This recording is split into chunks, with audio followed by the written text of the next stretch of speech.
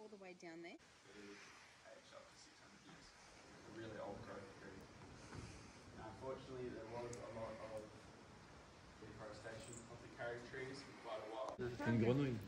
Been there for about two weeks now. Ah. Don't know why. Have you got a family somewhere? I don't know. I think I think it lives near the water when it comes down at night to drink. Here. It's really He's, camouflaged. he's, look, just Feet there, and literally where that was there, a um, rattlesnake went by. And then we looked at the ground, and there was T'as vu, regarde, je rigole, mais. C'est même pas. England you guys from? uh, Southampton, so central. We can actually thank that rainwater for all the crystals that we see forming down here. The ceiling and floor, all formed by that rain. And now, contrary to the name itself, Lake Cave underground stream.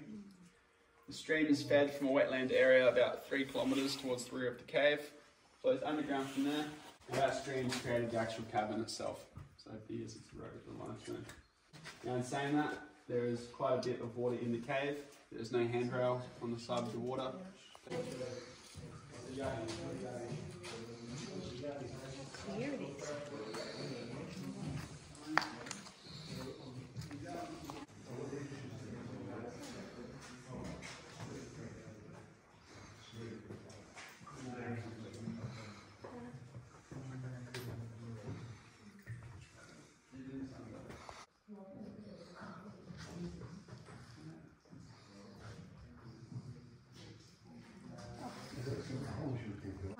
The tree, tree root is once hanging down.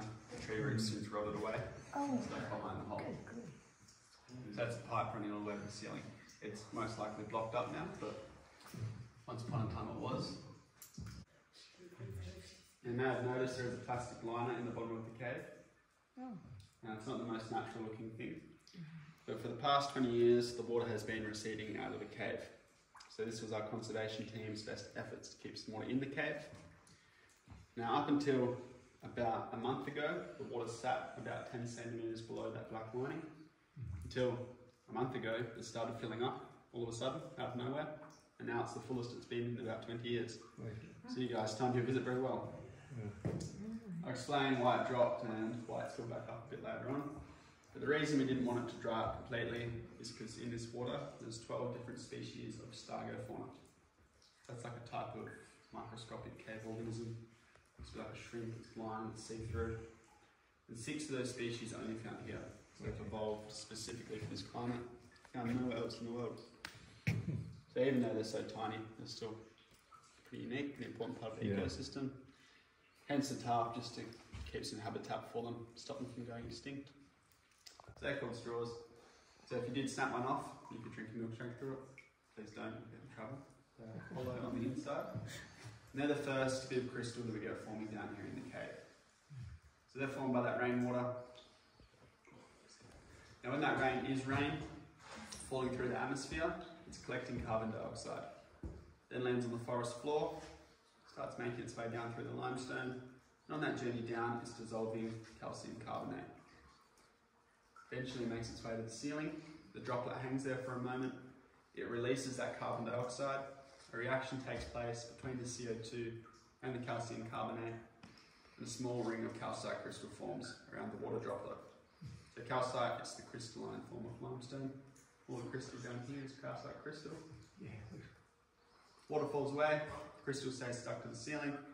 This process keeps happening and slowly the straws form.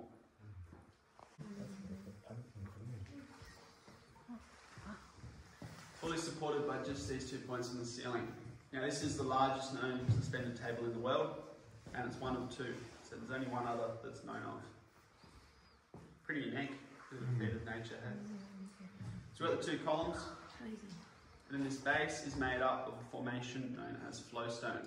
So flowstones formed a little bit differently. Instead of the water dripping straight down vertically, it's actually seeping in the wall of the cave. It's running over the existing limestone, depositing calcite crystal as it goes, behind flowstone. So this hasn't just defied gravity and flown over here. What's happened is about six or seven hundred thousand years ago, when that whole piece has started to form, the limestone floor was up here. about the height of the boardwalk. So the whole thing was initially formed on the floor. Now over the years, the water in the stream is slightly acidic. It's got a pH of around three. That started to dissolve the limestone. The limestone dissolved quite easily because it's very porous material, whereas calcite it's a crystal, so it's very non-porous. So the floor's dissolved before the crystal has had a chance to.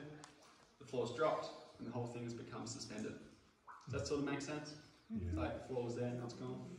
Yeah. So if cave's active, means it's still growing, and if it's dripping, it's growing. So the reason this area here is the most active is due to the limestone above us in the ceiling. It's less dense than everywhere else, which means the water can pass through much easier, which has resulted in quite a lot of crystal. Hmm. Okay? You guys see this fast dripping stalactite here? We've named it, of course. Any guesses what it's called? What do you guys call it? Drippy. Drippy? It's a good one. We call it the super fast dripping stalactite. it drips so quick at a rate of around 44 drops a minute, every single minute. It's actually stunted its own growth. So that water is not hanging there long enough for the reaction to take place. So no more crystal can grow.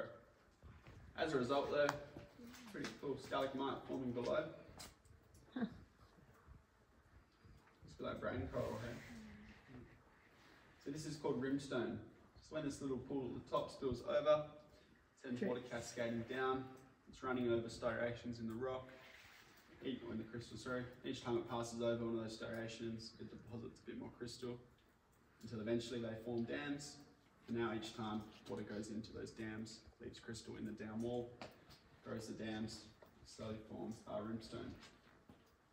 So you can see all this through here, it's all rimstone. And the big piece back there.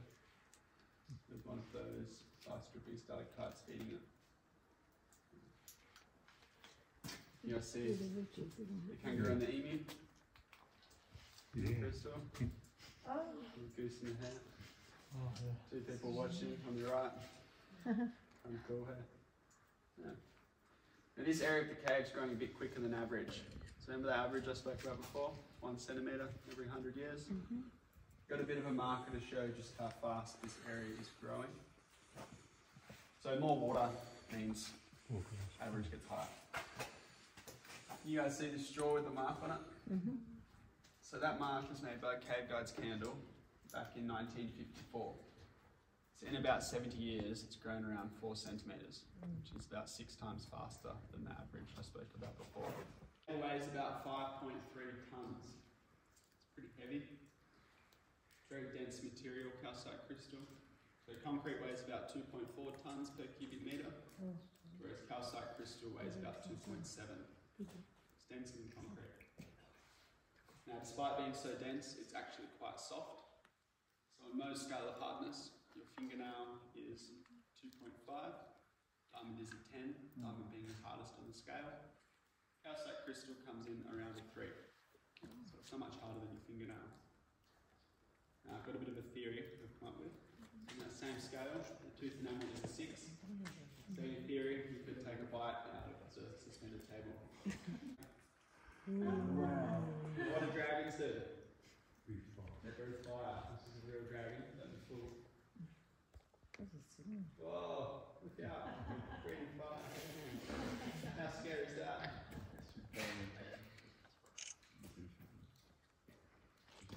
Can't fool that. eh? Now, do you guys remember me talking about Tim Connelly before? How he came down just a candle? This is just me speculating. I feel like at some point his candle may have got dripped on. And he would have been left in total darkness. Slowly heading up out of the cave. You guys can way.